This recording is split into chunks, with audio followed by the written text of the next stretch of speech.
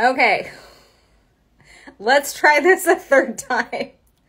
Instagram it keeps kicking me off. I am so sorry. So, this is, of course, the first episode back is just uh, a nutcase. So, anyways, we're going to get uh, Tim on, and it's going to be very exciting. Um, again, sorry if because it cut off. Um, if you do have a question that you want to submit, the bottom right hand corner of your screen, there is a question mark bubble. Please submit your questions there so that we can um, answer the questions that you want to submit. So we are going to get uh, Tim on here right now.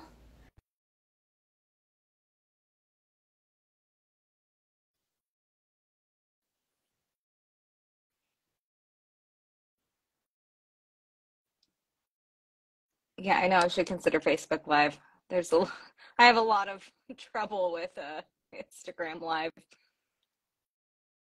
Okay, hold on one second.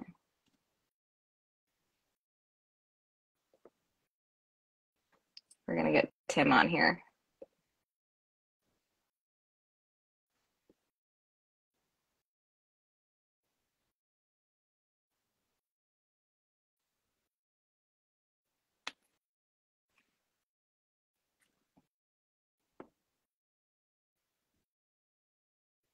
Hey guys, thanks for joining.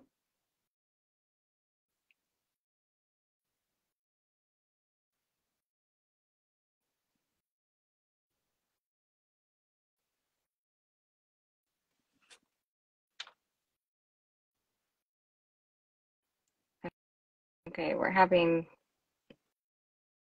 difficulties right now. Tim, if you're listening, I'm going to send you one to your direct profile.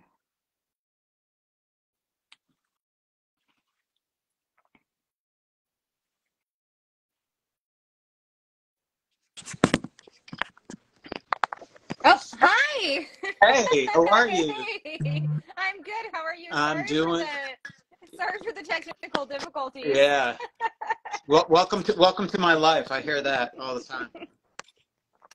How are you? I'm doing well, doing well. Just uh, just hunkered down here in beautiful Rhode Island, Mhm. and um, but everything's going well. But thank you so much for having me on. I really appreciate it.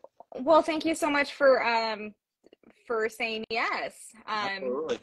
yeah, your documentaries actually got me back into history. So um, thank you for that. Well, you know, if, if if one person says that, that's that's why we do them, and and you know, you've you've you've definitely done some incredible things with for a person who got back into history and you know i love i love the things that you do and it's you know you have to educate a newer generation and a current generation and think about future generations so you're definitely doing it in a different way which i think that's great for history Well, and teaching history Thank you. welcome. Thank you. I know it's I I take definitely a different approach to uh, Yeah. sharing history. Okay. No you have to. I mean you know everyone thinks of history as being this dusty old book that you had in the in the seventh grade. And yeah. you know you find out with younger generations and you know they're so visual these days. So any way you Mhm. can present history and you know um, and and deliver history get them get younger people interested in it i think you know you have to be creative. And i think you definitely do that. And and so many people who have been on your show do that. And and um it's it's just amazing to see all the people in the community who are trying to keep that generation going and and the messages Exactly. from that generation, the lessons and and and they're just you know, I always I always kid around with with students who come in and I always say, you know, that generation left us a blueprint on how to be better people, how to be more humble, how to, you know, take pride in a lot of things, how to work together. And Mhm. um, it's important that you preserve that in your own way. And I think so that's great. Exactly. I completely agree with you. Um, you know, it was they are deemed the, the greatest generation and you know, they went through a lot um Yeah. in regards to that. So it's um it's something we definitely need to take to heart and keep sharing and all that stuff. So Yeah. Absolutely. Absolutely. so So so, let Go ahead, fire away. yeah, let's get to the nitty gritty. I need to know how did you get into history? Like where where did it start? Because you are like so far like you have the your museum, you have the foundation, you have all this stuff. So it started somewhere. Where did it start? It started when I was about six years old, and I picked up a World War II book and started reading some stories about what was going on in North Africa. And then, you know, my, my parents are like, okay, here's a six year old kid who's who's reading about Rommel and Montgomery and, and El Alamein and, and everything else. So it started then. I just was interested in in how people were able to come through that time. And not only the soldiers, but but the survivors, um, the witnesses. I mean, it's the whole, you know, the world as a whole was caught up into in this. So it's it's it's how did people deal with it? How how did they have the fortitude to to come through that, you know, six years of, of you know 39 to 45 but it really started all be, before mm-hmm. that um, mm-hmm. I, and i was just interested in the personal stories and some people were heroes and some people were cowards and some people survived and some people didn't survive and it was such a random thing there was so much luck involved about whether you survived world war ii even you know during the battle for london or the battle of the you know the battle of the blitz and, and the blitz um, the battle for England. I mean, random where the German bombs fell and who lived and who survived. So the randomness of the war itself um, is always something that I was interested in. I mean, you could have two guys in a foxhole and one guy taps the other guy, and you know you've been in the foxhole with him for six hours and he still has a cigarette in his mouth, but he's dead. Mm-hmm. Sniper shot him in the head. So you know when the veterans came home, there was so much survivor's guilt with that generation. And that's why they hated being called heroes. They would always say the real heroes are buried in the cemeteries in Normandy or Margraten in, in Holland or Manila or the Punch Bowl in Hawaii. So they would actually get mad if you called them a hero because there was so much of that guilt uh, because they knew they were lucky, you know, when they came home. So for me, I spent an additional 15 years as a journalist asking a lot of questions about sports, not about World War II, but it still kept me um, interested in, in, in that generation. And I always thought, you know, after I stopped doing what I was doing in TV news, this is the thing I wanted to do because I had so much respect for that generation and, and wanted to make sure that future generations knew these stories, not the strategy or the dates of battles and stuff, but mm-hmm. how someone came through it and how they were able to climb Pointe du Hoc on D-Day with Germans, you know, dropping potato mashers on their heads. Uh, it takes a special person to do that. So that interested me a lot. So it was, it was very young. And I, I, started collecting artifacts when I was probably around that age too. And that's gotten pretty crazy too. So, so you started collecting when you were six? Yeah, I think I got a couple of medals I had a couple of uncles who were in the war. Mm-hmm. One one worked on the Manhattan Project, and um, so with all the stuff coming out with Oppenheimer, yeah, it was interesting to revisit my uncle Jack's role um, as one of tens of thousands of scientists. There were probably about 200 to 250,000 scientists who actually worked on the bomb, but mm-hmm. only a certain upper level of those scientists knew it was an atomic bomb. The rest were figuring out formulas in all parts mm-hmm. of the mm-hmm. country and stuff. So, um, so there are some direct ties that I had, but most of it was again just these incredible stories. Oh wow! Okay, so you had an uncle that worked on the Manhattan Project. Yeah. What other um, uh, you had other uncles that were in World yeah. War II. What are what was that? One was a medic in Europe, and another one was on a destroyer destroyer escort in in the Pacific. And you know, we talk about um, how important it is for these men. He, my uncle Bob, just died probably about six months ago, and he was yeah. cremated. And his final one of his final requests was to have his urn brought back out into the Pacific Ocean and and and left there and dropped there into the Pacific Ocean. And it's one of those things they never really talked about, but you see what an impact his time, you know, in World War II had on him that he would make that request to have uh, his urn dropped off, you know, Guadalcanal or or or some island out there. Mm-hmm. So, yeah. Oh, that's that is very intense. So, were you able to make the journey out there to?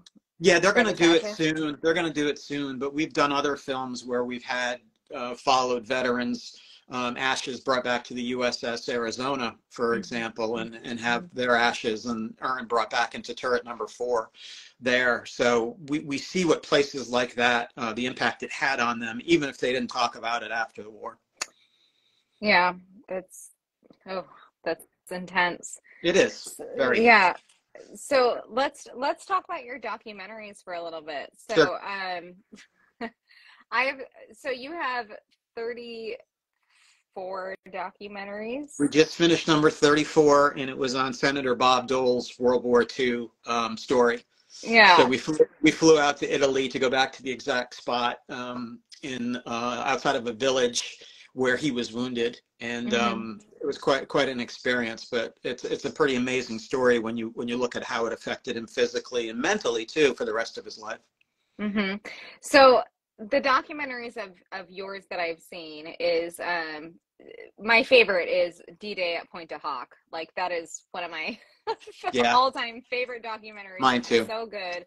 Um and then uh Dick Winters Hang Tough, Yep. Maggie's War, um uh oh I can't think of them off the top of my head. I'm I'm totally spacing. We've had a crazy day at work. So Yeah, but, yeah. Um, uh, jo- the Joe George story, Mm. um, that one too as well.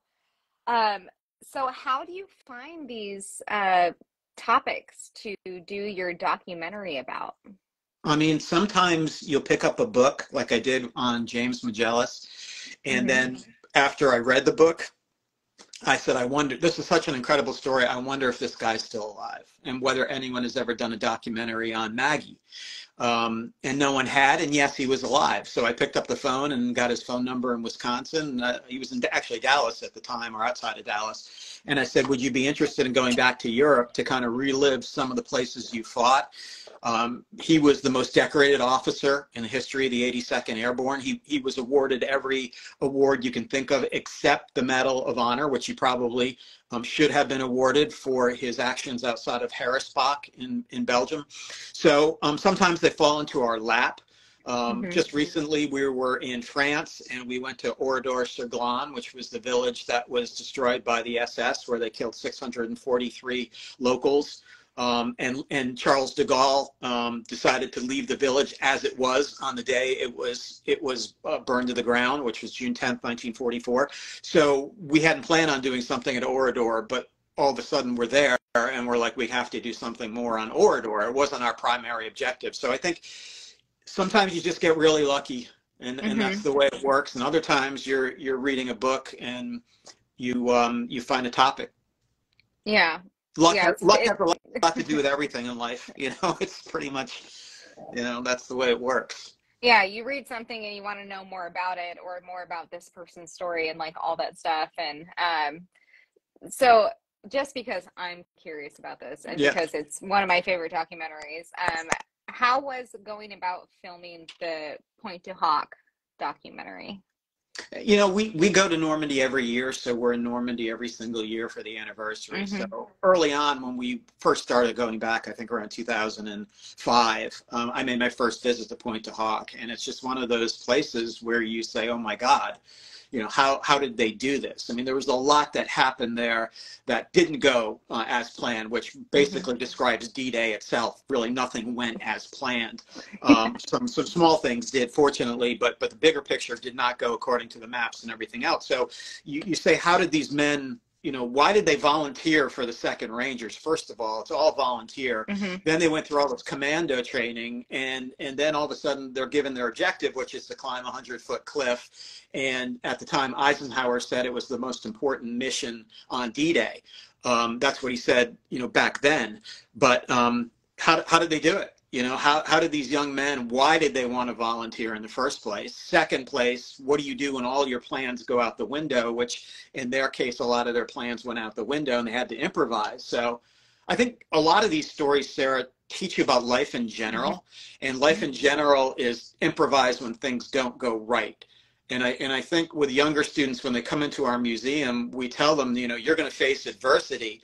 And if you watch Saving Private Ryan, you know, Captain John Miller, Tom Hanks's character, knew that the only way to survive was to keep moving forward. Mm-hmm. And I think that's that's something in life. Whatever adversity you face, the only option is to keep moving forward. And to me, there's no better example of the guys who fought in Europe and the Pacific and other theaters. Um, that's what they did.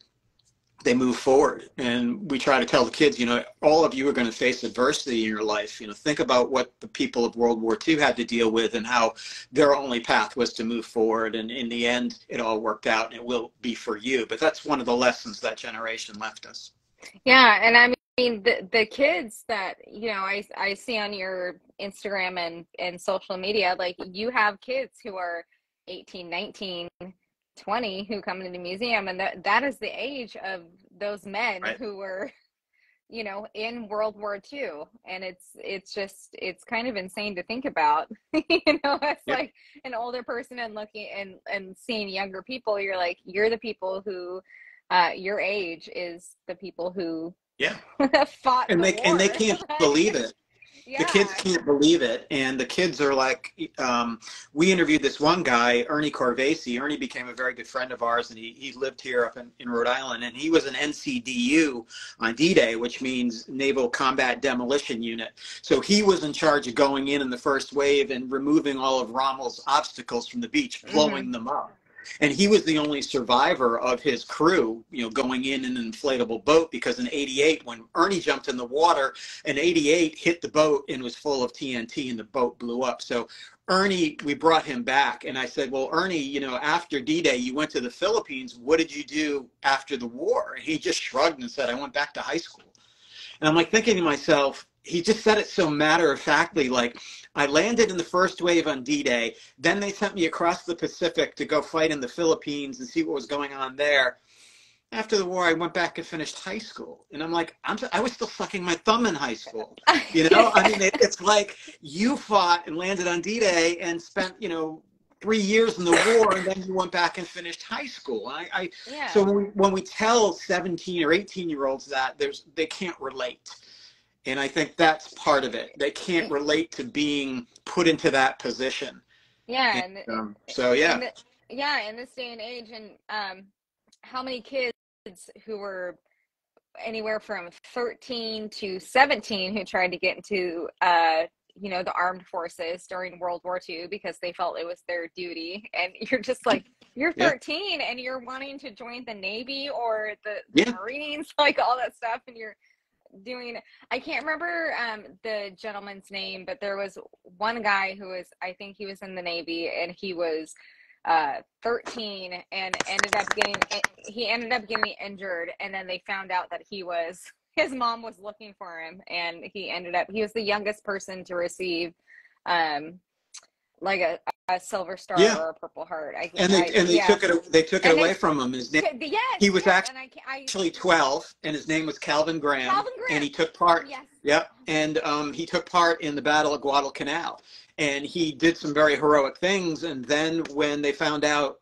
after his mom ratted him out and said, you know, he's 12 years old. They threw him in the brig, and the, the prisoners in the brig used to beat him up every day because he was a six foot, um, 200 pound kid from Texas and they thought he was a deserter. And he kept trying to tell them, I'm in here because I'm 12 years old. And they took away all his awards, and he was finally given, his family was finally given the awards back, I believe, in the 1970s. It might have been during the Ford or Carter administration, but mm-hmm. they finally said, you know, we're going to give his medals back. But we did a film on a 14 year old who joined the 82nd Airborne he was 14 years old and he was six foot from California and we did a documentary. Fortunately, he was still alive mm-hmm. and he was 14 and he jumped into Sicily when he was 15 and you know they kicked him out. He joined the Navy underage. They kicked him out. He finally joined the Merchant Marine and finished out the war as a paratrooper when he turned 18. And then he fought in Korea at the Battle of Chosin Reservoir, and then did two tours in Vietnam as commander, as a sergeant major of special forces. I mean, oh my gosh. He had been in the military since he was 14 years old. And it's just incredible stories like that that we try to, to tell the younger people and preserve. So, yeah. That is. Oh my gosh, that is it's so, nuts. It's that nuts. Is so insane. Yeah. And, what's crazy is that a lot of people don't realize is that um, with the Korean War, it's you know the forgotten war. Um, just like World War One is also labeled that too. But a lot of World War Two vets were in the Korean War mm-hmm. because it was literally five years after yeah. World War Two ended, yeah. and so you have all of these um, amazing veterans and leaders who you know went into korea and stuff like that and you just you hear these stories and they're just like so insane i can't believe he was in world war ii korea and Yeah. vietnam that is Yeah. so insane Yeah, uh, that is mean, that is a you- you- long conflict Yeah, and they had to really kick him out of Vietnam. And then what he did when he got out of, when the kick finally said enough is enough, he joined what was called Air America. So he ended up working on helicopters and stuff and flying in helicopters. Air America at the time was basically a branch of the CIA, and they were delivering medical supplies, but also weapons back into Vietnam. So after he had done two tours, he still wanted to stay in country there and help out in some way. And he, they just buried him at Arlington last year. Oh. Uh, Jim Schmidt was his name, and um, to me, he's just a great American. I mean, he, you know, but there were some really upset people with him when he joined the army at 14, namely his mother. Um, yeah so, uh, but yeah, he, he was an incredible human being, and, and when you meet people like that, it makes you a better person. It really does. 100% Yeah. I completely agree with that. So, how did the International World War II Museum come about? by my wife telling me to get all this stuff out of the basement. Um, you know, we, we've been we've been I've been collecting for a long time, Uh-huh. and, and we spend a lot of time in Europe, and we spend a lot of time in the Pacific. And over the years, I've made friends with a lot of people who are in the military um, artifact world Mhm. and a lot of the Mhm. times they'll see something and and we had good friends in france and other places they'll see a helmet or something and they'll say hey tim um, you know we're going to sell this to you but we're going to give you a discount. It would look great in the museum and we think your students would love it. Mhm. and so people are always and then we get we get donations too. Families will bring items in uniforms and helmets and stuff and and captured flags um, other things. But a lot of the things I, i've you know come across while traveling. And um, on Guadalcanal or um, you know in in Europe.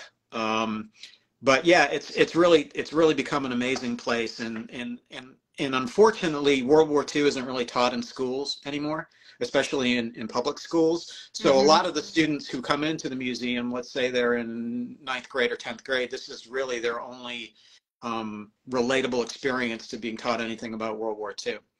And the thing that always amazes me is we've had probably about 4,000 kids through the museum since we opened five years ago, and there has not been one kid who sat in the corner on their phone disinterested in what they saw.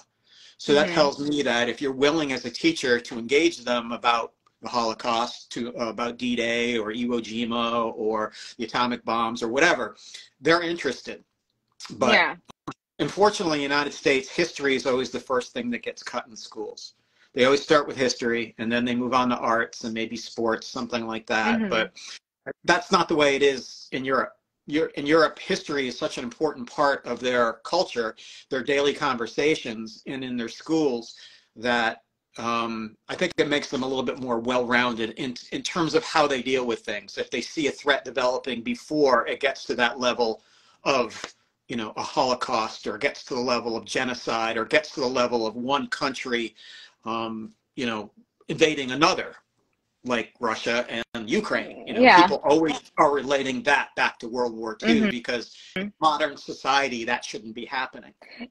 But there are always those references of of Mhm. comparing now to then. And I think after September 11th, people said, "I can't believe this happened," and and I'm over in the corner, kind of raising my hand, saying, "Well, um, if you want to look at another instance where airplanes, you know, attack the United States or United States territory unannounced, we can talk about Pearl Harbor. Mhm. Like 9/11, we had our guard down at that time in 1941. So the lessons." Uh, history rhymes. It, it may not repeat itself, but it certainly rhymes. It certainly rhymes, and and people look at history too, and they're like, "That happened in the past." They Mhm. don't. They never think it can happen in the present, even Always though does. we've we, we even though we've lived through it. Like we we lived through 9/11. I remember 9/11 like it was yesterday. I know exactly what I was doing, Yep. where I was, like, and everything. Um, and you know it's it's kind of surreal with the the war in Ukraine. You're Mhm. seeing this this kind of like you always see pictures and footage of World War II and and those battles, and you're looking at the war in Ukraine with Russia, and you're like these are like hauntingly like similar photos mm-hmm. and and and stuff like that and you never think that you're going to live through that type of thing and so i think that is a huge thing for people they don't really realize what they're living through but yeah. why do you why, why do you think that um our school system is not teaching world war ii history i think when i was when i was in high school which was a, long time ago um I I think I learned about World War II in sophomore year of high school, so 10th grade. Mm-hmm. But I don't think it was like that big of a, a, thing. I think I feel like it was really rushed. Like yeah. we're, we're, like we're going from this point right. to this point. Right. So um why why do you think that schools are not like teaching that? Is it just because like the curriculum, the the budget? Yeah, it's mostly curriculum yeah there there are when i was in when i was in middle school we spent a week on world war ii mm-hmm. so now my daughter spent three weeks on the american revolution and about three days on world war ii Mm-hmm. And I'm like, okay, so you're spending three weeks on the revolution. I get it's the birth of our company, our, our, country, and, and everything else. I understand that. But you have actual World War II veterans in the community. You can come into your school and talk. I mean, we can't have George Washington come in and, and, and talk at the local high school, you know, unless you want to dig him up. Let, let's be honest, unless you want to dig him up and bring his bones in and make his teeth chatter we have World War II veterans who can talk about history and, and keeping an eye on things so they don't spiral out of control. Mm-hmm. Um, the most anti-war people you'll ever meet are those who have fought in wars, and especially World War II. You know, mm-hmm. you, you don't. The rah-rah guys are the guys who really never saw combat and might maybe flew a desk in Washington, and they're like, "Go get him, go get him, go do this," and everything. And the World War II veterans are like, "Diplomacy 1st mm-hmm. I saw my best friend die in the war. I don't want to see that happen to another young person. So, yeah. you know, the, those people who have seen war, and I've ne- I was never in the military. I've never seen war except on television, mm-hmm. and um, I never covered a war, did anything like that. But when you talk to these World War II veterans, they are the the people who are advocates of making sure we don't repeat the mistakes of the past. And I think part of that is you need to teach the generation, uh, younger generation, about how those mistakes happened how Hitler came to power and and and how you know Tojo and the army took over Japan and and and you know things like that. So you need to be able to make them aware of the signs before it ever becomes a problem again. Mm-hmm. But that still didn't stop what's happening in in Russia and Ukraine. Yeah.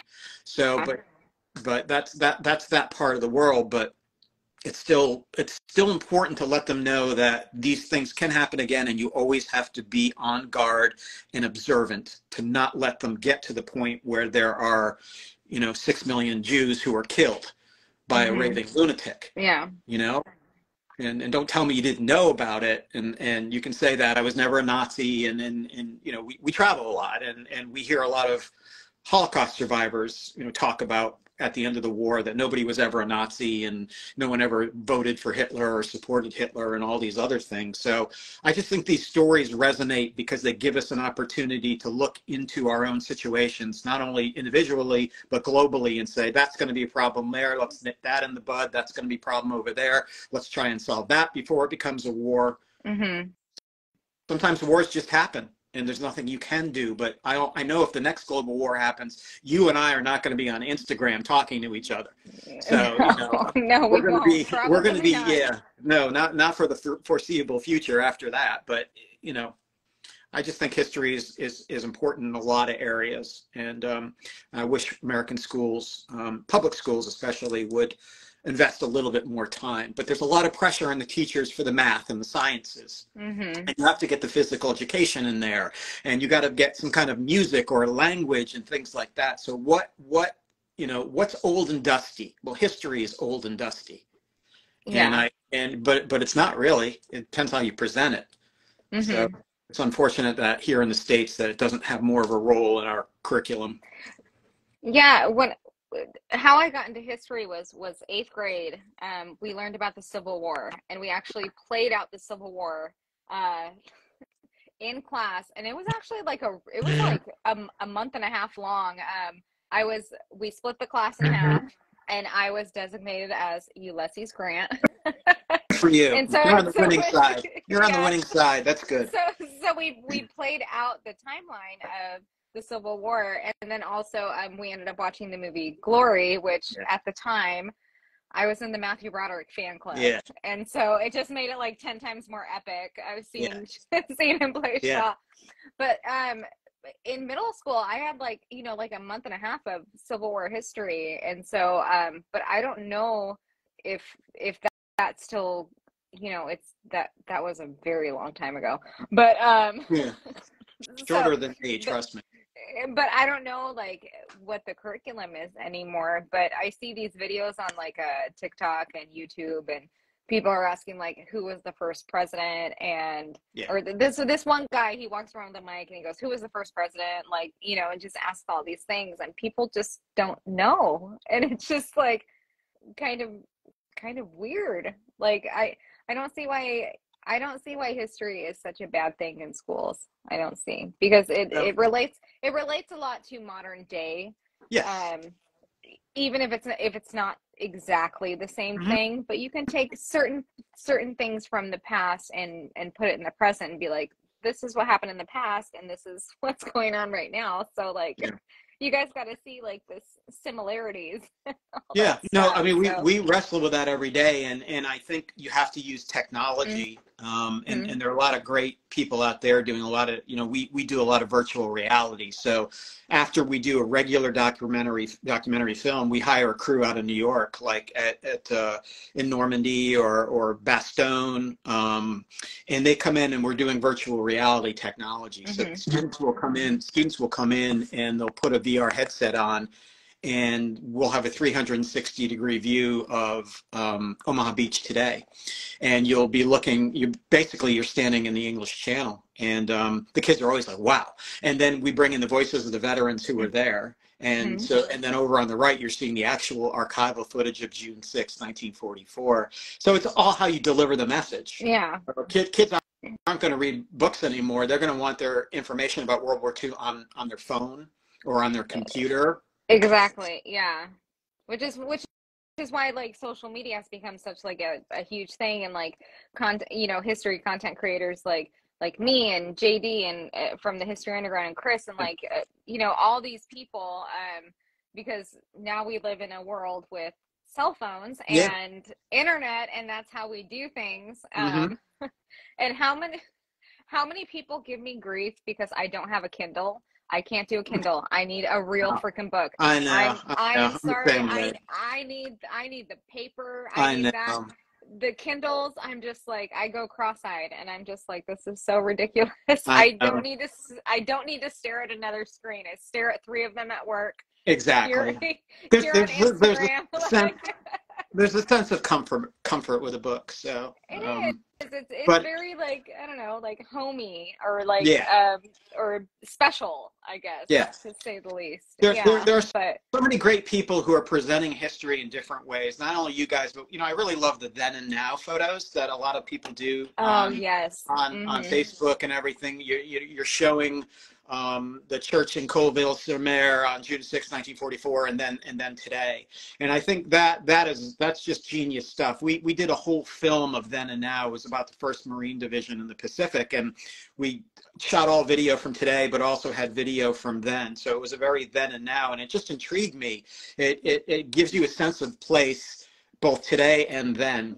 So it's not all just Yeah. archival. It's not all just archival video and stuff, Mhm. but those people who do the then and now, I'm always always clicking on that stuff. That's clickbait for me. So when I see that, it's- it's, yeah. cool. It's it's amazing. D Day History does Yeah. it. Sander VK History does it. History in Your Hand does it. And, and it's and it's crazy to like actually see those photos because you're like, you know, we were in a world war, bombs, like destruction and all that stuff, and you see these buildings that are still intact, and you're like, Yeah. this is the exact spot like where this happened, and this farmhouse is still here, Yeah. and this And the bullet road- holes are still here. yeah i know it's absolutely insane and like i'm i am not gonna lie i'm very jealous of the people who live in europe who can go do that because obviously i'm in oregon we Yeah. don't have anything like Yeah. that here. Yeah. The the one thing that happened in oregon in world war ii was at fort stevens and a japanese sub uh was along the columbia river and they shot off a torpedo at Fort Stevens and it ended up taking out the the baseball field sign. Yeah. and that was like the the one thing in Oregon and Fort Stevens was very important because that's where the uh, Pacific Ocean and the Columbia River yep. meet. Yep. And um yeah, Oregon is very not. Well, actually, something some, something very tragic did happen in Oregon from World War II. Um, the Japanese used to have these what they were called balloon bombs, and what they mm-hmm. would do is they would pack they would pack these bombs in these balloons and send them on the, the, the jet stream from Japan. And one did land in Oregon, and I believe it it uh, oh. it, it killed like three or four three people. people. It, was, yeah. it was a family. It was a family. I think they were out for a picnic or they were out somewhere. But when you think about you know a, a, a balloon that was launched from mainland Japan that mm-hmm. drifted mm-hmm. across the Pacific and ended up killing three or four people in the forest in Oregon. I mean, that's what the intention was, some random thing, but that did happen in Oregon. Yeah, I think that was in Klamath Falls. Yeah, I, I believe that, so. Yeah, um, yeah. It just I, it just it's super weird. And also, we um in Oregon, I just found out. So there's um we are opening a the Oregon Military Museum here in Oregon. Um, it's gonna be the first like really good military museum. They're still right. getting trying to get funding. It's at um Camp Withycombe, um, which is the air uh, the Army National Guard camp in Clackamas, Oregon. But um, they were talking about uh, that whole thing. But then also, I was talking to the director, and he said that we had a bunch of uh, POW camps here in Oregon. Yeah. Ger- German POW yeah. camps. So they said they sent them from Germany and or oh, yeah. all over Europe yep. to Oregon. Mm-hmm. And so that's a, another rabbit hole that I'm going to go on because yeah. I was like I've never heard of that. Like oh, yeah. Oregon, it's it's Oregon's like the most random state. like, well, they, they had PO they had POW camps in Iowa and there was one here in Rhode Island that's about 15 minutes from my house and um, the one in Iowa I was reading about was a funny story that that one day these weren't SS guys, okay? They they kept the fanatical Nazis somewhere else. These mm-hmm. were were Wehrmacht. These were normal army guys who they were trying to denazify, but they weren't the hardcore SS guys who you know you couldn't you couldn't do that to. Um, one some Oregon people um, left their house one day and went down to a local bar, and there were three guys with POW uniforms sitting at the bar drinking beers and they just walked out of the German POW camp there in Iowa and uh, and gone down to the local bar and had their POW, you know, on their on their back and everything, and they're sitting in a local bar. And and the locals sometimes um, these guys would even stay after the war and end up marrying local girls mm-hmm. and and everything. Mm-hmm. But I'm not surprised that Oregon had a camp. Not at all. I mean, sporadically they popped up all over the country. So. Yeah, it was. I mean, I was actually pretty shocked. Um, I mean, again, I I have just gotten back into history and I, and I'm learning so much stuff, which is one of the reasons I do my pages. Is it, my page is that I want to share what I learn, yeah. um, and also what I already know.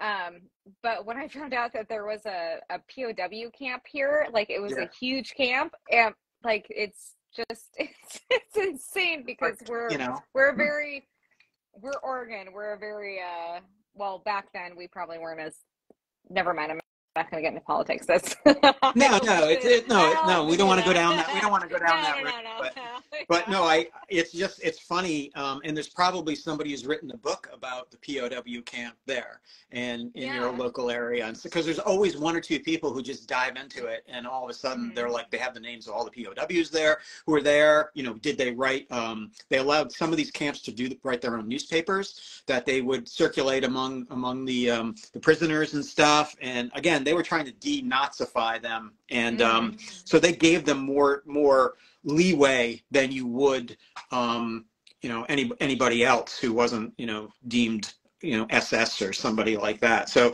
sometimes these guys would would end up wandering in the community and make friends with the people in the community and again it it just personalizes them as human beings not just as you know not every german who fought was a nazi so. yeah and, and that's what a lot of people think that every german was a nazi and that's no.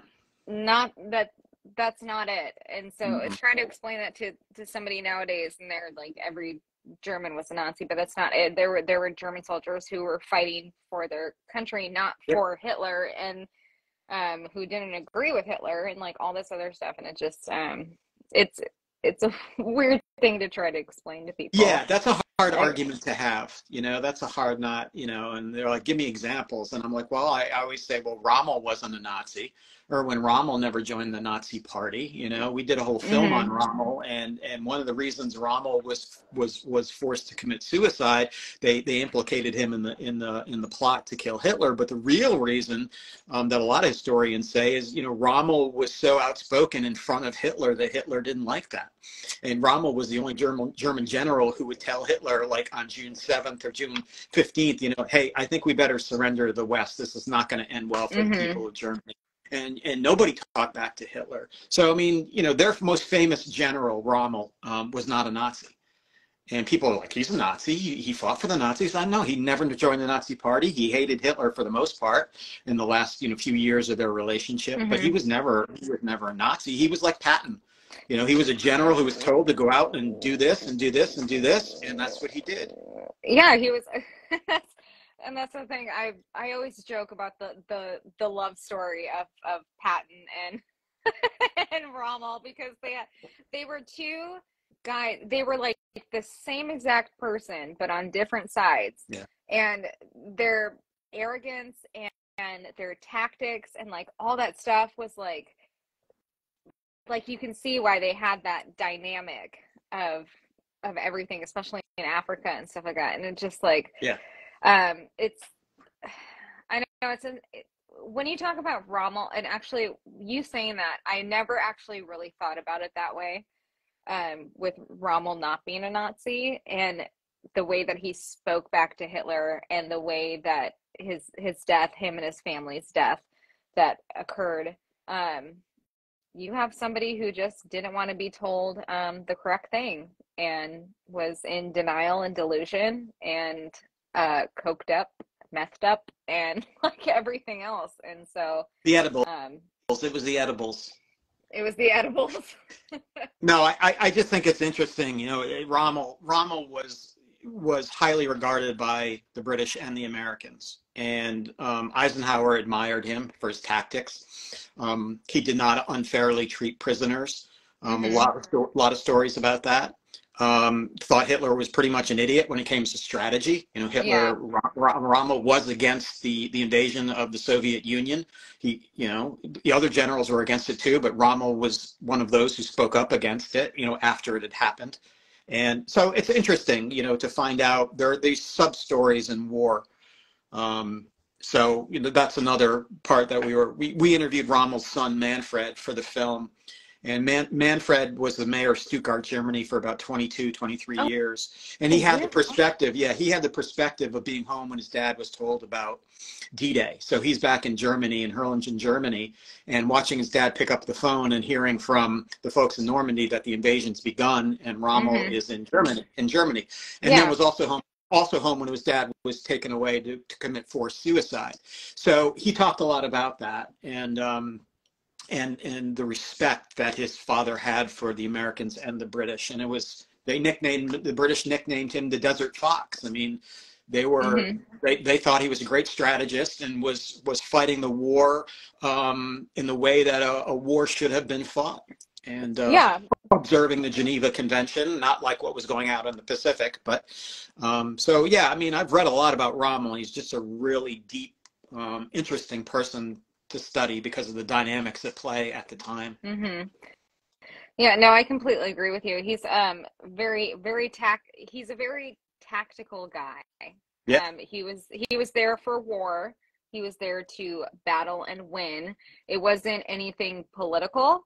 No, And I think and and and that's also the same thing with Patton too. Like he was he was there to you know, just get these guys do, you know, fight tactics and like all that stuff and i think that's why like that dynamic was so like in intriguing but also like that's why people did not like them that much because Yeah. they're like they're like dude this is what we need to do um but you're sitting here you know talking in the back of my head politics and all this other stuff. And so Patton didn't just- like politics. Patton would not have Hated made a it. politician. You know, so Oh, no. so for him, for him, for him, it was give me the orders and let me run across France and get into the Ruhr po- pocket or get into Germany and let me do what I do. And you, Roosevelt, and you, Eisenhower, because you have to play the fence for everybody. Just leave me alone and let me go out and do what I have always done. You know, Yeah. early on, early on, and and uh, you know he he's just a great tactician. He's one of those guys who's going to motivate his men whether they like it or not. So he was a soldier. He was a general's general, and and and Rommel was like that as well. And and both didn't like the political game. None of them. Patton didn't like politics at all, and Rommel did not like politics at all. They just wanted to be soldiers and be given their Mhm. orders and carry their orders out. And so you de- you de- definitely have to respect that. So. Yeah, my my opa was in the Fourth Armor Division, and he was part of Patton's Third Army, and they were their one of their slogans was the, the beaches to Bavaria, Yeah, and how and how fast they trekked through Europe Yeah. is absolutely insane. I have like the whole map and like uh, the dates and like all Yeah. that stuff from my opa, and it, it just like you know you have, have Patton and Rommel were soldier soldiers. They weren't like you know cake eaters or anything like that. No. So it's just um, They didn't interesting. play the political game very well, and were often often called into the principal's office because you know they didn't play the political game. play by the They- rules. yeah. They didn't they didn't play by the rules. No, they played by how they were taught and how they had fought in the First World War Mhm. and and their you know whether whether they were at West Point or wherever you know they were they they were smart, strategic, um, ambitious, sure, Mhm. um, but they were brilliant. And Montgomery Yeah. was Montgomery was brilliant in many ways too, especially early in the war in North Africa. I mean, you have to Mhm. give all credit to Montgomery, you know, for um, you know for for for getting the the Germans and Rommel on the run in North Africa, you know, before um, you know we landed there. Um, but yeah, I mean, I- you, you look at strategic minds, and they're they're just about training and and um, not getting involved in the in the politics of who's who's going to get what part of the world when the war is over. Yeah. Do you think Montgomery gets a lot more hate than he should? I feel like Um, he does. Or, or I do- think Mon- you know what it's really interesting with Montgomery the you know the, and it's been mentioned in movies and everything and and they said that the British needed a hero too Mhm. and there's no question that Montgomery early in the war in North Africa saved the British he was also a key planner for D-Day and saw Mhm. things Yeah. that, that needed to be corrected on the original plans and Eisenhower deferred to Montgomery for that. Yes Montgomery should have taken Caen you know, much uh, shorter before he did. I mean, that was, you know, he was supposed to be in Caen on D-Day. He wasn't.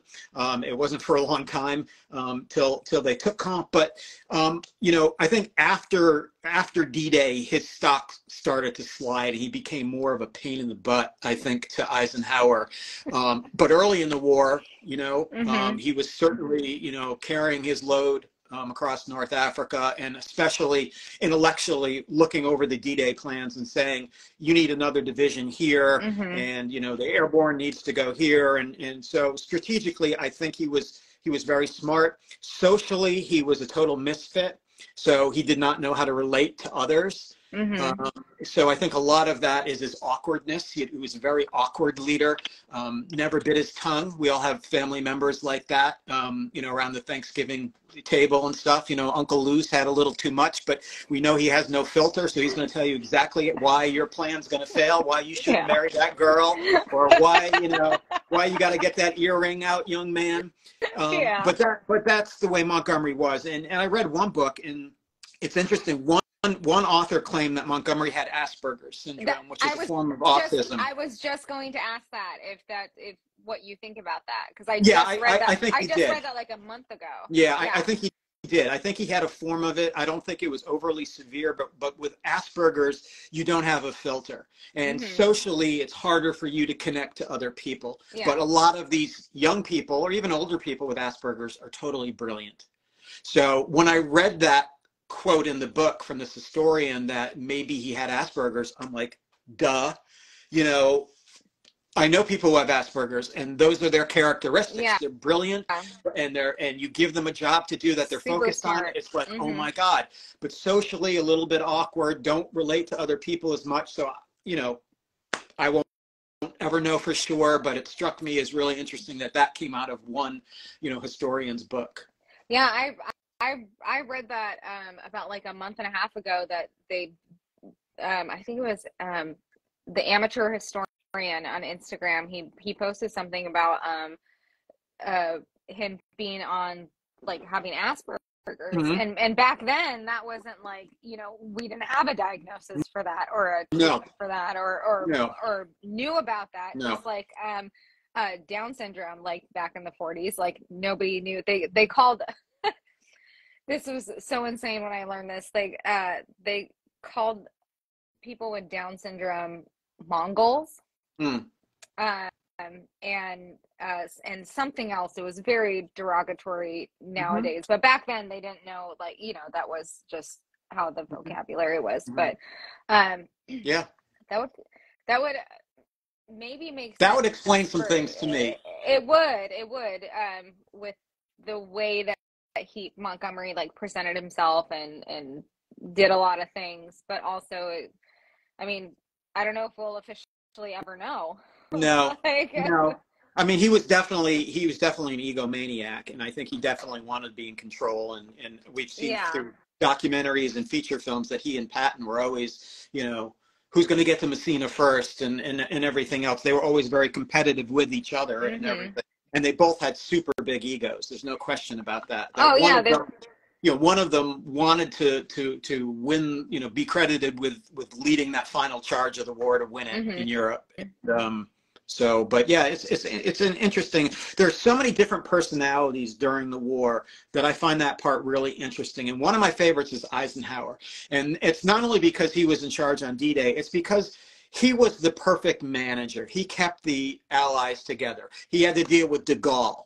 That was not easy. He had to deal with Churchill. He had to deal mm-hmm. with Patton. He had to deal with Roosevelt. He had to deal with Marshall. He had to deal with, you know, Montgomery and and Omar Bradley, who was a great great soldier. But to me, mm-hmm. World War we don't win World War II without Eisenhower being that perfect manager of personalities and expectations. And he was the only one who could keep that coalition together. And that's why yeah. I find fascinating and why he was such a great and underrated president.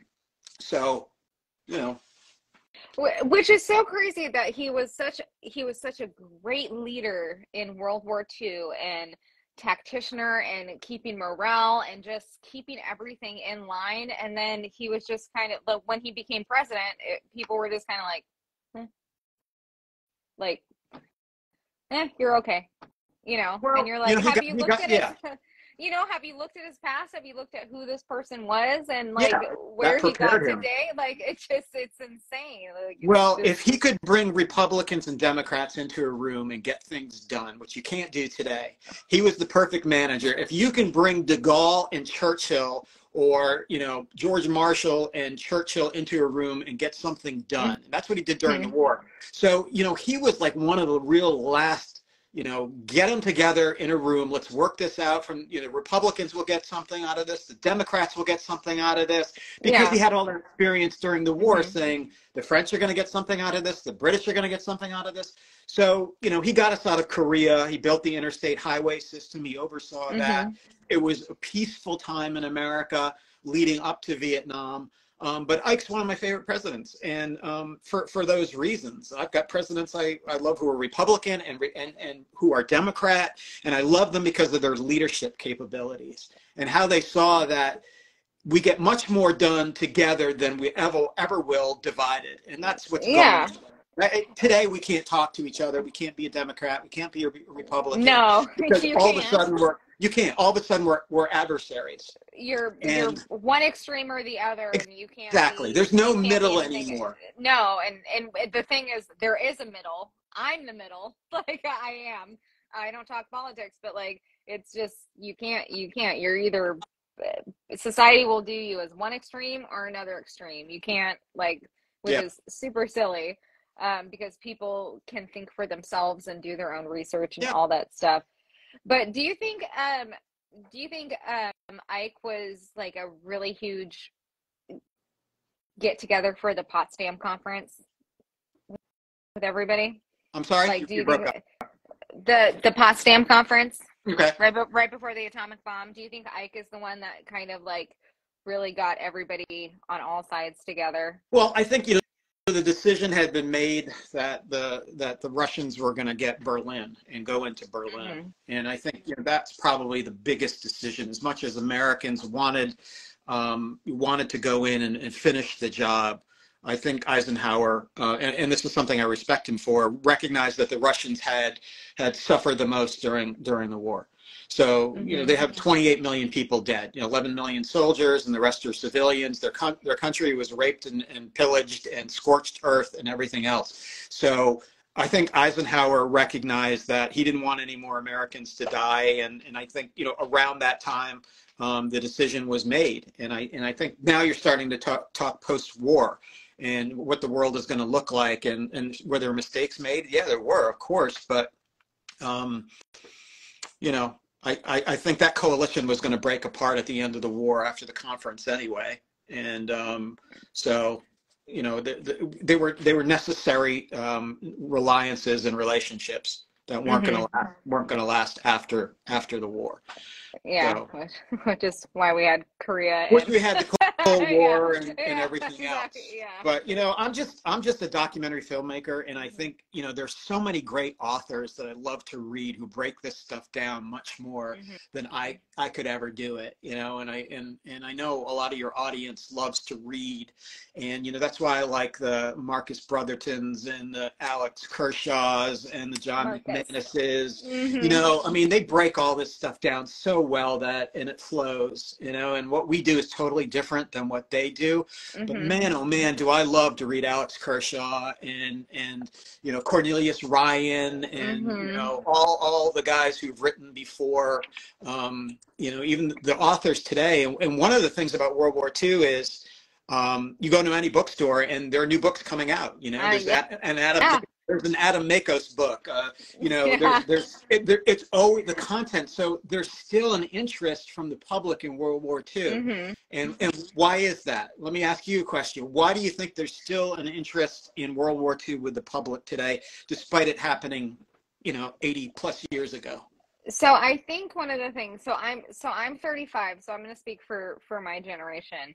Um, I think because a lot of us had a grandparent or a uncle or somebody who fought in World War II, just like my opa. My opa was in the Fourth Armored Division. He was a staff sergeant. He has a Purple Heart. He's uh, just a awesome, awesome guy. But, oh my God, I'm so sorry. That's okay. Um, but what I think actually what happens in movies is I think that okay, and I know Freddie's gonna flip when I say this. Don't listen to Freddie. I He's not even on.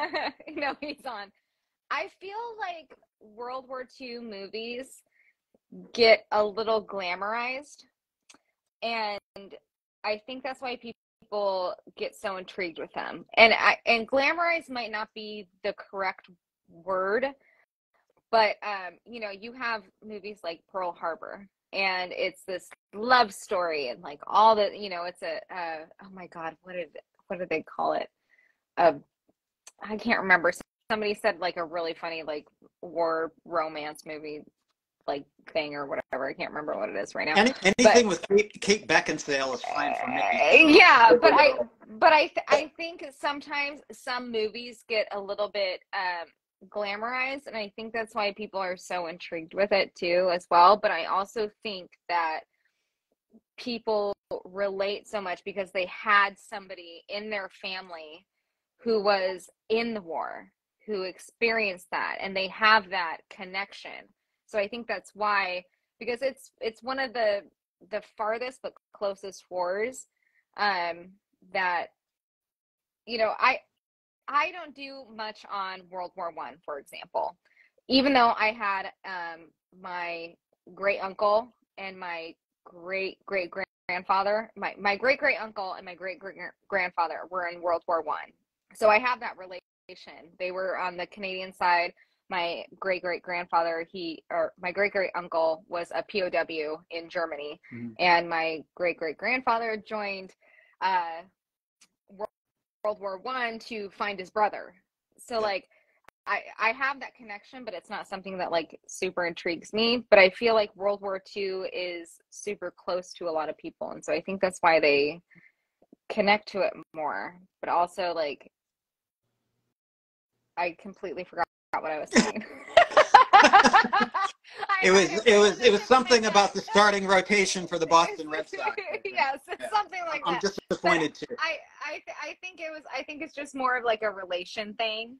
Um, I don't know how younger generations look at World War II films or anything like that, but I hope that you know people like you keep spitting out those documentaries and and letting us know about these people and and what happened and everything like that because it is really important because World War II I mean the Civil War and World War One too as well but um World War II is a really huge turning point you know that's we so much had has come out of World War II for example the the CIA you know like all this all this other mm-hmm. you know stuff and it's just um yeah i'm blabbing so no, I think I think you're you're right. I think there's a very strong personal connection there. Mm-hmm. And I mm-hmm. also think that people want to look back on a time where everything made sense. There was somebody who wore the black hat and mm-hmm. there was mm-hmm. somebody who wore the white hat and we were fighting for our fellow man. We were fighting for democracy. We were fighting to liberate a foreign people mm-hmm. um, who had been who had been, you know, put under the boot the hobnail boot of, of, of either you know Germany or the um, Arisaka rifle of the Japanese. I think people today are so confused about everything in the world that they look for a clear time when America came together. And one of the pilots we asked, who was a Jewish American who flew a B 17, he was shot down over Belgium. Uh, his name was Bruce Sundlun. He later became governor of uh, Rhode Island and was one of the starting founders of NetJets. I said, mm-hmm. Bruce, can you explain what it was like during the war time? Give me the feel. He said, Well, I was going to help you, but I knew that you were going to help me, and together we were going to get the job done. So when you think about that today, th- mm-hmm. does that how we are today? It's not how we are today. Not, so people look back in a time when America came together. We, we had some of those vibes after 9-11, obviously. Yeah. Um, young people joined the military. They wanted to get in and avenge. And you know, God, some of the nicest people and some of the smartest and most courageous people I've met are the current generation of military. But people back on World War II are looking for that clarity mm-hmm. when we knew what we were fighting for, and that wasn't the case in Korea. That wasn't the case in, mm-hmm. in Vietnam. Yeah. And and then. In, in latter conflicts and wars, you know, sometimes it was and sometimes it wasn't.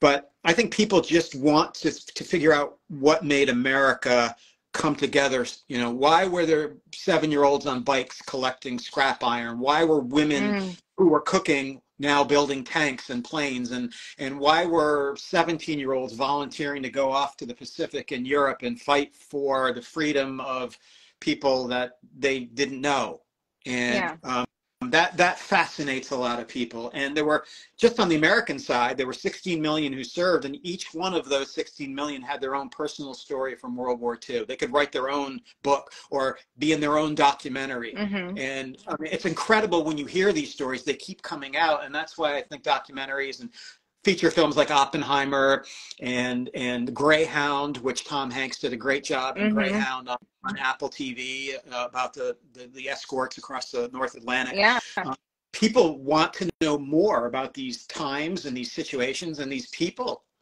and I, yeah. Th- I, th- I think that's fascinating. I think all the people from that, you know, we've been back to Auschwitz with an Auschwitz survivor, and you know he was there and his job every day was to go around the camp and empty the waste. So he went to every part of the camp. When we got him to go back to Auschwitz, we just put a microphone on him and said, Izzy, take us around the camp, tell us what you saw.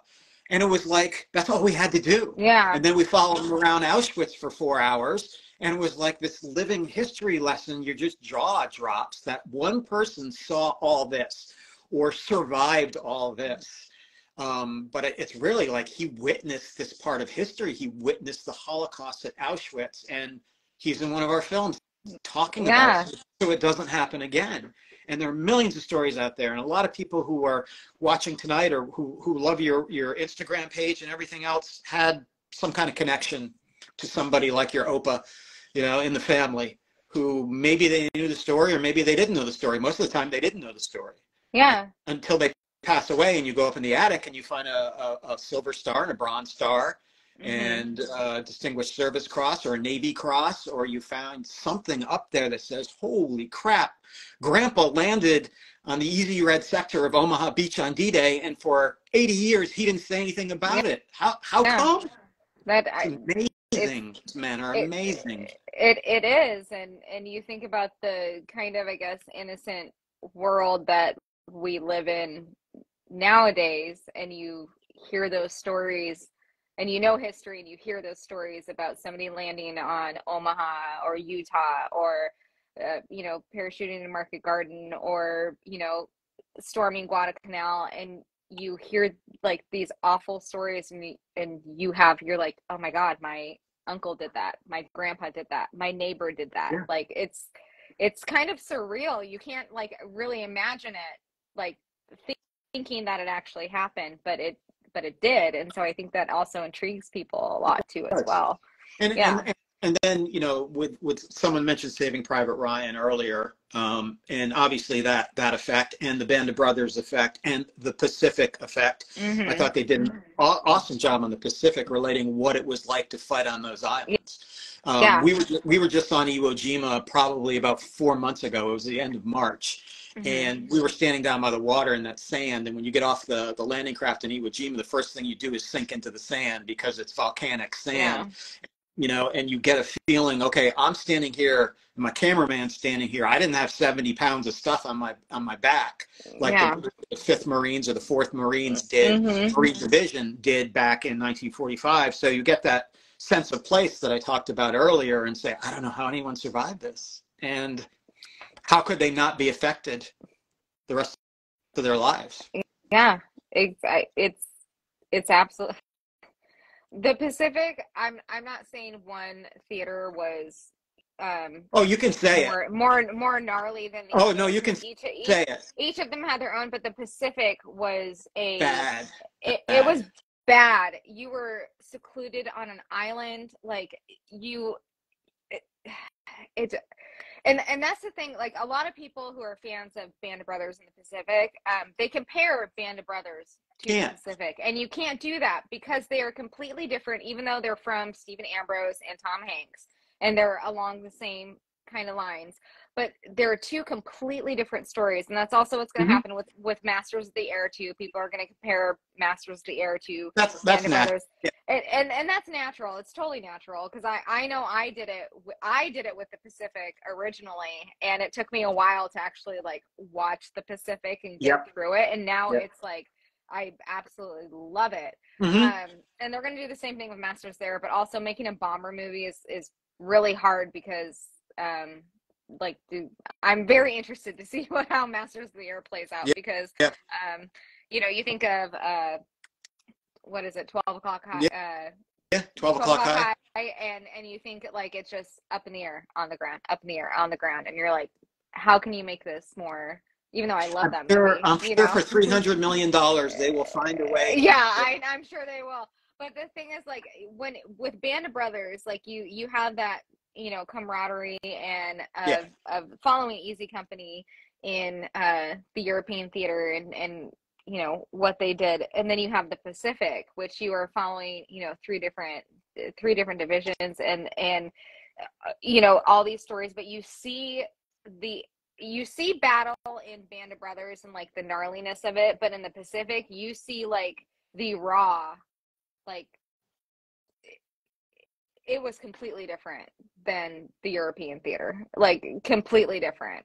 And you see more of just like what war was like, I think. And I think war, as you, you mentioned, raw. And I think the Pacific did such a great job in conveying that they were two separate wars.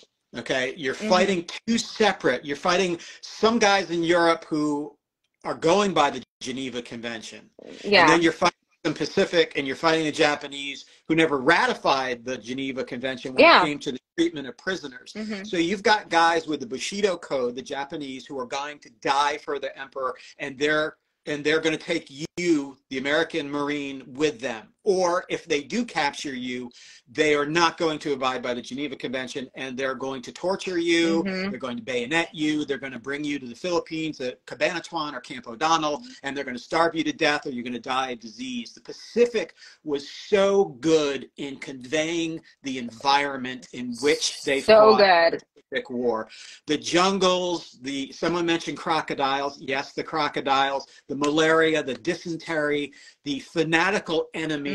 Mm-hmm. Um, and, and and as different as Band and Brothers and the Pacific were, the Pacific War was that different than the European War. So I thought when yeah. I watched, when I watched the um, Pacific, that first time I thought, hmm. And but when I watched it again, I'm like, I see exactly what they're doing. They yeah. can't follow one group through the entire thing. You can't. You can't. No. But but they did a good story. But more than anything, they conveyed, even at the end of the Pacific, when Leckie came home and wanted to pay for his his cab fare, mm-hmm. and the driver said, "I may have jumped into Normandy on D-Day." but you know you guys have got no leave you didn't get to meet any women over there in the pacific. You were dealing with much more than even we dealt with on d-day. And for for the cabbie to say that to him kind of summed up the whole series for me. I thought that was interesting. Yeah. It i mean it does like they they couldn't go on leave they were on a, a Three Mile Island.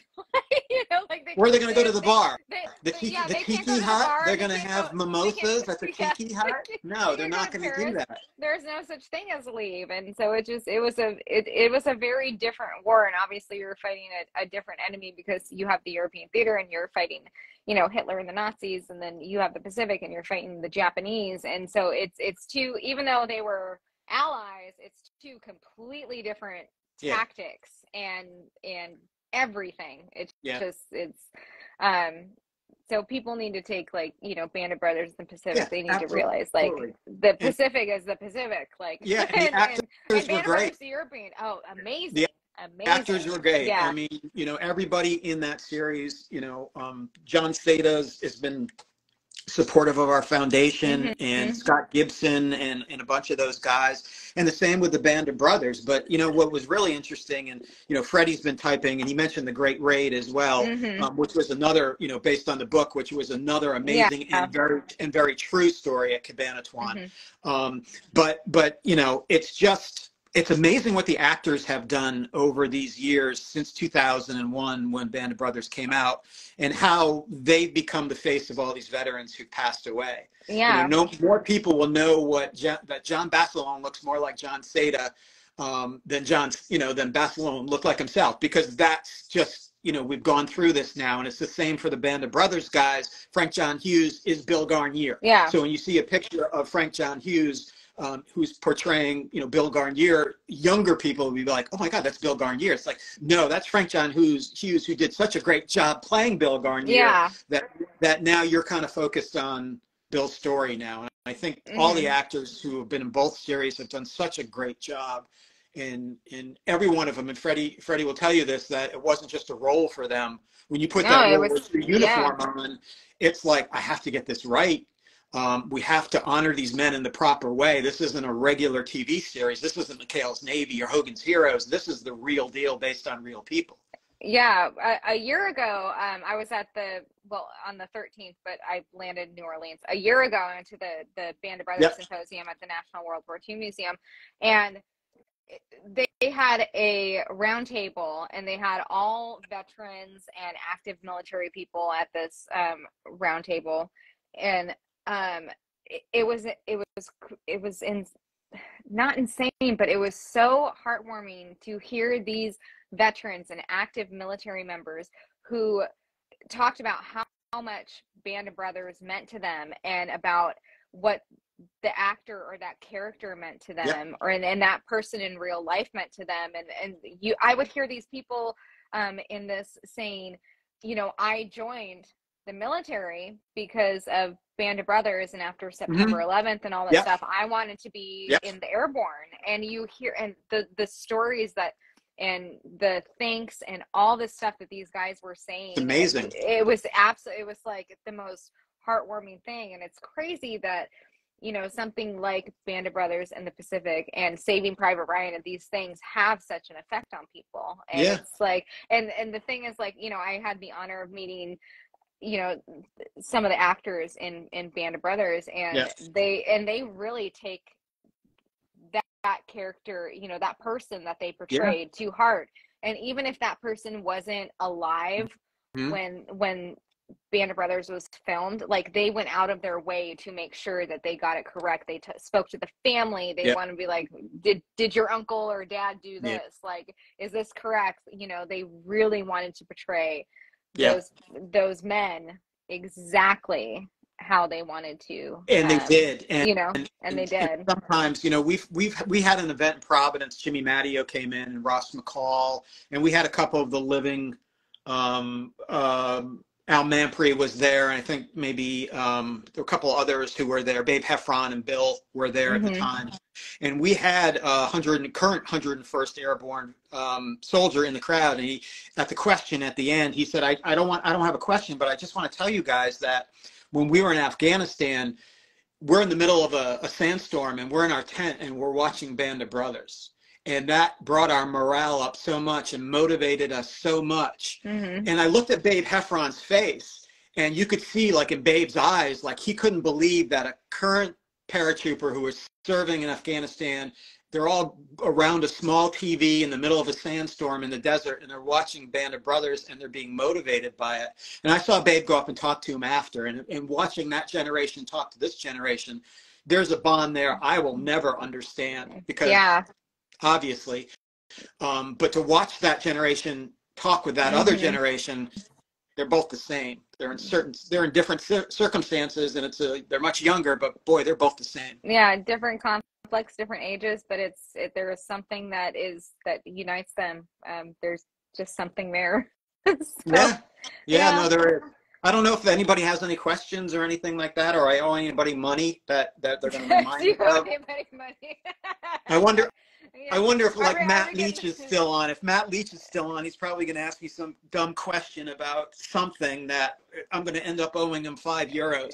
Do you know what he's? It's like what time is it? Oh, it's it's five twenty one. It's like three o'clock in the morning where he is. I don't never know where he is I don't- though, so you don't never, think you he's- know. I don't think he's on know. anymore. Okay, good. I gave him. Woo. I gave him. I gave him a hard time last night. He was on the We Happy Few page. I'm. I help out with the We Happy Few page, and uh, he was. He was like posting stuff, and I was like, "Go to bed."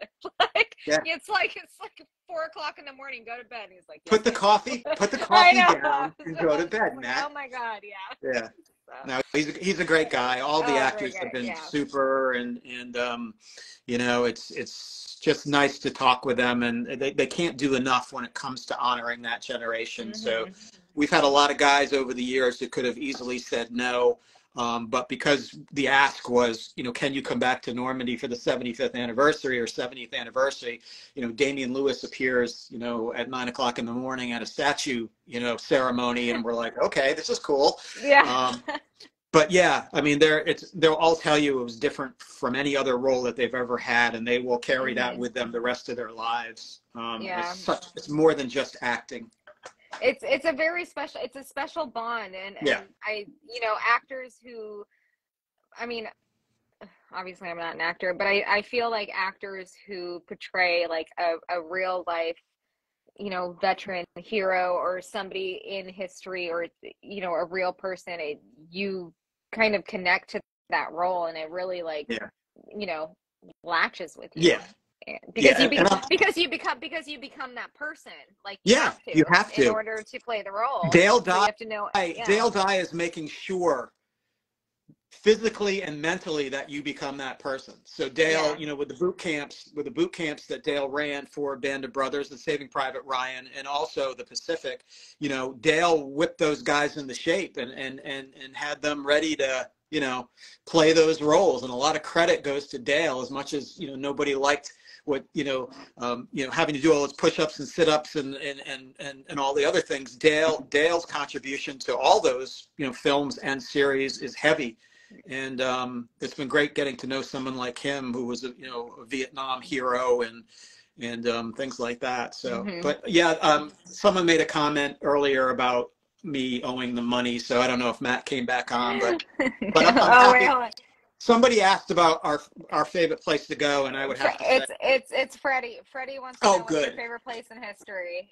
Uh, what's your favorite place in history to visit? And you probably owe me money. yeah, probably somewhere along the line. I'm sure I owe everybody who's Yeah. been to a reunion money. Um, probably Normandy. Um, we've been about 17 or 18 times now to film in Normandy. So Normandy and Pearl Harbor are two places that we spend a lot of time. Um, but lately, we've also been in Italy a lot, which is incredible. Um, um, there are some islands out in the Pacific that we've been to. I've been to Peleliu a couple of times Mhm. and filmed there, which is haunting. Almost Peleliu. Um, if you saw, they devoted three episodes in the Pacific to just Yeah. Peleliu. Yeah. So you know how bad of a fight that was. But to go to that island and, and spend time there, uh, it was as haunting for me as going to Auschwitz because of what happened to the Marines there and Yeah. the environment in which they fought on Peleliu. It was nothing, Mhm. you know, like it was on Guadalcanal when they when they began in August of 1942. So um, Peleliu, Normandy. Um, are two places. Um, Pearl Harbor, for obvious reasons, just because that's where it all began for the United States Yeah. Cabinet war rooms in London to go down mm-hmm. there and visit where Churchill and, and everyone, you know, they're planning the war down there. Mm-hmm. Um, mm-hmm. we've just been to so many places that it's the history still resonates because of the bullet marks on the columns or what was left behind. We go in, there were 500 caves on Peleliu, and you go in there and you find things in there like the battle ended the day before. You know, Japanese helmets, radios, samurai swords, bullets, medical dressings. Um, so when you step back in time like that, um, that's something I always find incredible. And and honestly, I think the best part of what I've done the last 18 years is just the people that we've met and become friends with. Mhm. I mean, I never would have met all of these people and made so many friends across the world without being interested in World War II. And, and Mhm. everyone has helped us, and everyone has just gone above and beyond to make sure the films are accurate and that we have what we need when we're filming overseas, or or make sure we get the facts right. I mean, we just, you know, it's like anything else. It's you surround yourself with good people who make you look good, and that's what we've done. You know, I've, I've Yeah. got great, I've got great uh, videographers who work with me, and great audio people, and composers, and researchers in France, and people who do history like you and everybody else. It's just like we're a community. You know, we are a community. We're trying to preserve Mhm. something that happened 80 years ago that that maybe other people aren't interested in. But here, I'm going to tell you why you should be interested. Yeah. And that's what we all do online. Some are more Mhm. technical than others um, in terms of, you know, this, my, my, my, my big thing over here is I'm going to do the strategy of the war. I'm like, that's perfect. I'm going to do the important dates of the war. I'm like, that's perfect. I'm going to do the then and now of the war. I'm like, that's perfect. You know, I'm going to do what I do. You do what you do, but we're all a part of this community of trying to keep that generation's lessons and message and everything else alive. Yeah, we d- we want to share it and we want to tell people, and people don't know that they're interested in it until they read it or see it. Yeah.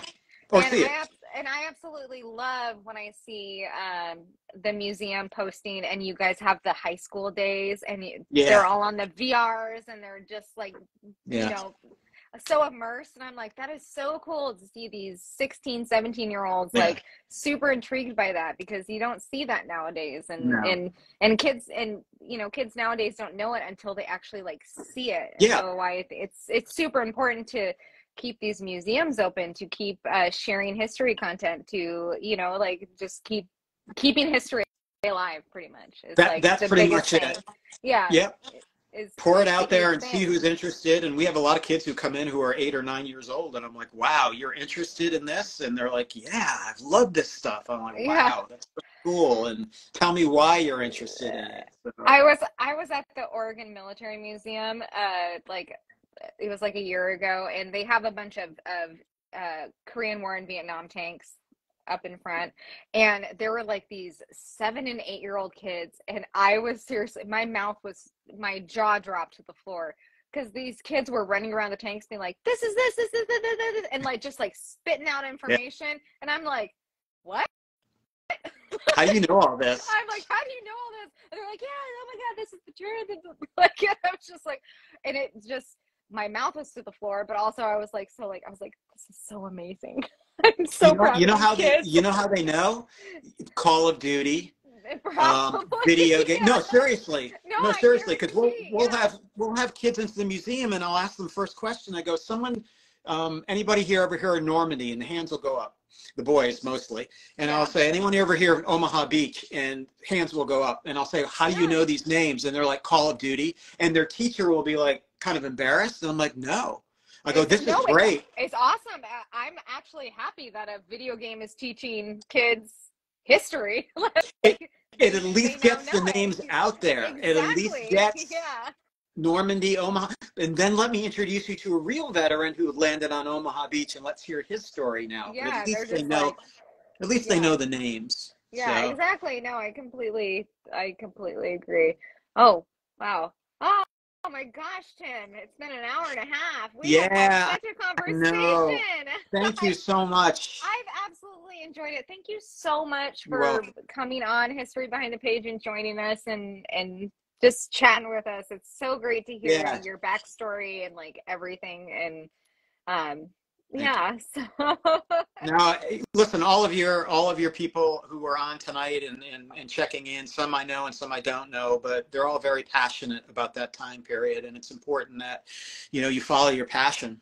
And Yeah. their passion might be their passion might be you know that 1939 to 1945. That that's great. Follow mm-hmm. your passion. Yeah, definitely. Tim, thank you s- absolutely You're welcome, so much Sarah. for coming on. Yeah, it's a pleasure to talk to you in person. yeah, I know. It's so great. So yeah. Thank you, everybody. Well, thank you, Fre- yeah, thank you, Freddie.